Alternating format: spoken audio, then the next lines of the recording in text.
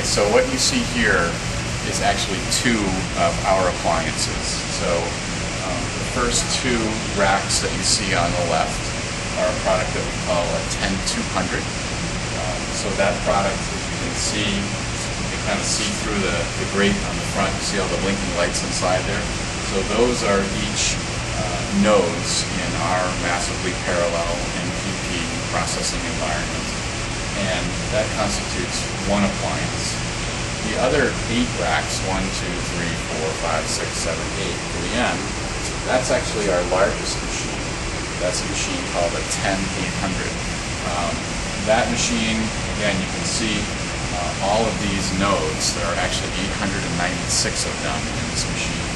And this machine will support um, up to three or 400 terabytes of data uh, depending on the levels of compression that you get on your data. So this really holds quite a lot of data. A number of our customers use machines like this for um, uh, applications in uh, telecommunications. This is where you'd have you know billions and billions of call data records, for example. This is where you'd have hundreds of millions or billions of point of sale transactions, for example, all of which are analyzed to solve various uh, various questions uh, around the business and business problems